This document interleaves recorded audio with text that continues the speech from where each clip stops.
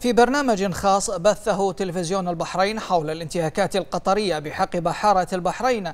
أكد سعادة النائب عمار البناي عضو مجلس النواب أن السلطات القطرية ارتكبت انتهاكات صارخة لحقوق الإنسان من خلال استهداف بحارة البحرين.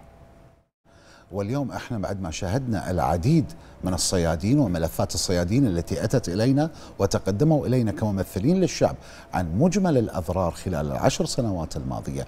آه، هناك من تعرض للقتل هناك من تعرض للاصابه بإطلاق النار هناك من خسر طرادة هناك من تعمدت السلطات القطرية وخفر السواحل القطري بإغراق آه، قواربهم واللي هي تأتي مصدر رزقهم الوحيد. لا نتكلم عن عن انتهاكات في حقوق الإنسان بمجمل كبير.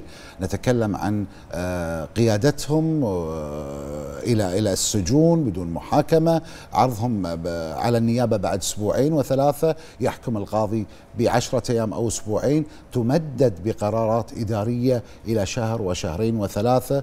آه، انتهاك صارخ لحقوق الإنسان في التعامل. من خلال أيضا عدم عرضهم على الأطباء عدم عرضهم آه، يعني هناك من من أصحاب آه، يعني إخواننا البحاره اللي تم إيقافهم في قطر آه، كبار في السن يعانون من أمراض مزمنة نعم. يأخذون أدوية بشكل يومي عانوا الأمرين بأنهم لا لا يتم توفير الدواء لهم ولا يعرضون على الأطباء